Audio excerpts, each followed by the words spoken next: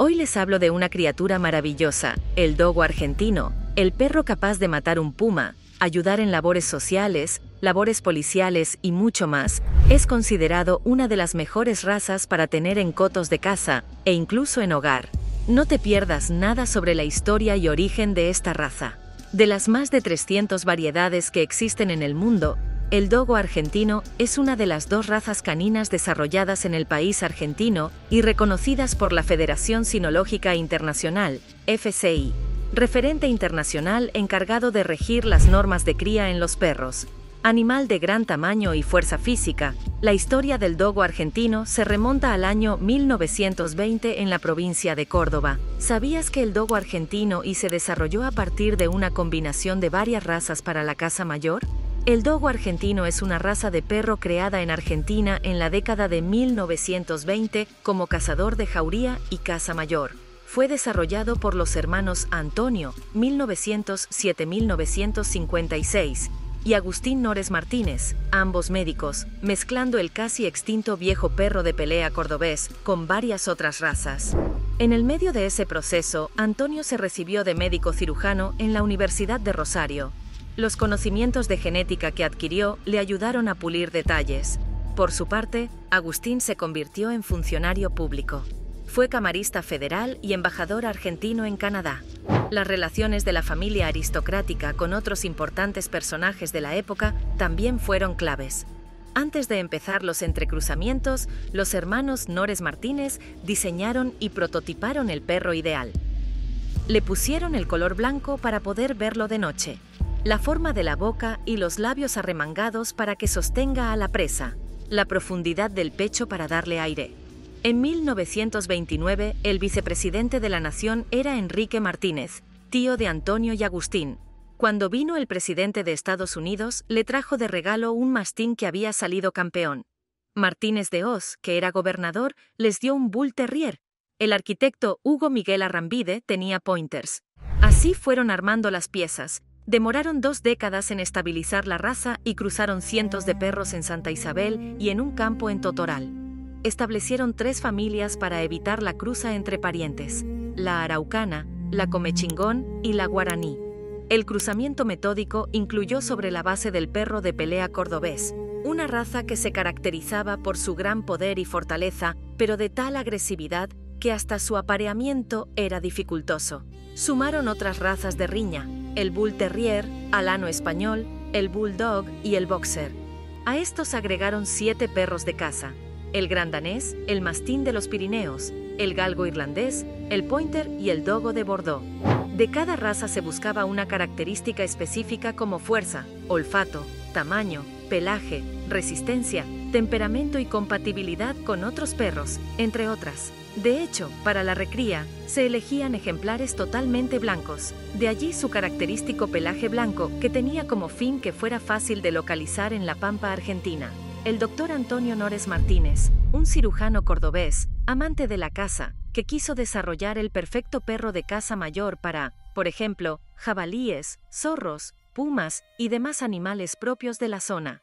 El perro de pelea cordobés se usaba para peleas y para derribar presas grandes y feroces. Sin embargo, como esa raza era tan agresiva, los hermanos Nores Martínez la mezclaron con varias razas como mencionado antes, incluido el pointer para mejorar la capacidad de olfato, el gran danés para aumentar la altura, el mastín de los Pirineos para un temperamento más tranquilo, el toro terrier por el color de la bata blanca, el boxer por su agilidad y personalidad, y el bulldog por su mayor fuerza mandibular. El dogo ganó especial atención cuando Antonio Nores Martínez enfrentó a su dogo contra un jabalí y un puma, y ganó el dogo.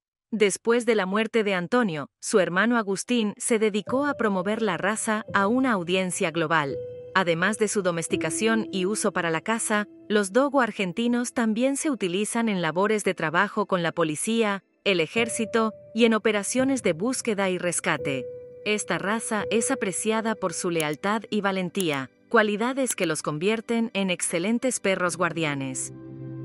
Para 1947, el dogo argentino ya estaba creado y estabilizado. El Kennel Club argentino reconoció al dogo argentino en 1964. La Federación Sinológica Internacional, FCI, en 1973, y el American Kennel Club, AKC, en 2020, introducido en los Estados Unidos en 1970, se hizo popular entre los cazadores de cerdos en la parte occidental del país. Con el reconocimiento de AKC y la exposición a más personas, el dogo se convirtió en un éxito instantáneo entre aquellos que querían un perro notoriamente duro con una apariencia elegante y buena. La raza ganó adeptos y se hizo popular en diferentes partes del mundo, pero también se encuentra en la lista de perros potencialmente peligrosos de varios países, dados los numerosos casos de ataques a personas de diferentes edades. Por eso, su ingreso y posesión en países como Australia, Nueva Zelanda y Noruega está prohibida. En otros países, como Suiza o Inglaterra, se necesita un permiso especial. En España, a pesar de ser una de las ocho razas potencialmente peligrosas, según la legislación no está prohibido tenerlo. En 1990 por primera vez, un ejemplar se impuso en el Mundial organizado por la FCI. Escorpión, nacido en Santa Isabel, compitió contra 122.000 perros de todas las razas en BRNO, Checoslovaquia, y se consagró campeón absoluto. En 2022, Yacaré del Senta, otro ejemplar nacido en Córdoba, llegó lejos en el Mundial de España. Ganó la categoría Dogo y el Grupo 2, compuesto por otros perros catalogados como de trabajo, en 2023, en Córdoba, el dogo quedó envuelto en polémicas. En mayo fue incluido dentro de las 14 razas definidas como potencialmente peligrosas por la Ordenanza Municipal 13.321 más allá de que la familia de sus creadores insisten en que no es un animal naturalmente agresivo. El dogo argentino es un perro inteligente y atlético que requiere un entrenamiento firme y coherente es importante establecer una jerarquía clara desde el principio y utilizar técnicas de refuerzo positivo para motivar al perro. El entrenamiento de obediencia, la socialización temprana y el refuerzo de comportamientos positivos son fundamentales para criar un dogo argentino bien educado y equilibrado. La socialización con otros humanos y mascotas es clave para controlar la tendencia natural del dogo argentino a ser cauteloso con extraños y otros animales. Debido a su fortaleza física y voluntad fuerte, necesitan un entrenador firme que pueda establecer límites sin recurrir a la fuerza o al castigo físico. Es importante destacar que el dogo argentino no es una raza recomendada para dueños primerizos. Problemas comunes de salud. En general, el dogo argentino es un perro sano y con pocos problemas genéticos, pero como todos los perros, pueden estar predispuestos a ciertos problemas de salud. Algunas de las condiciones que pueden afectar a esta raza en particular incluyen displasia de cadera, ligera sordera, relacionada con el pigmento en uno o ambos oídos, una afección que a menudo afecta a perros que tienen batas blancas, problemas de piel y enfermedades cardíacas. Es importante realizar chequeos veterinarios regulares y mantener al día las vacunas y desparasitaciones.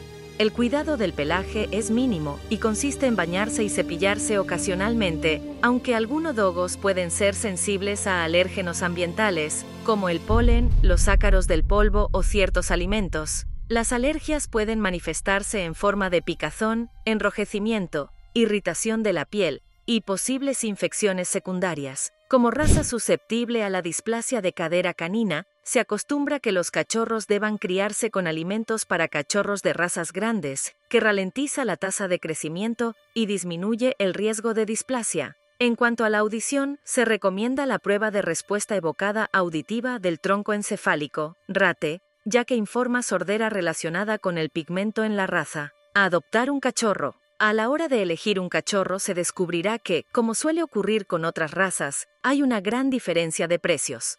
Hay venta de cachorros de dos meses a 7 mil dólares, 20 mil dólares, 30 mil dólares, 60 mil dólares y hasta 80 mil dólares. Todo dependerá del criadero y del pedigrí que tenga. En cualquier caso, lo importante es asegurarse de que se trate de un lugar especializado sin olvidar que muchas veces se suelen ofrecer ejemplares que no son puros. Esperamos que este video te haya brindado información útil. Un saludo a todos. Larga vida a los perros.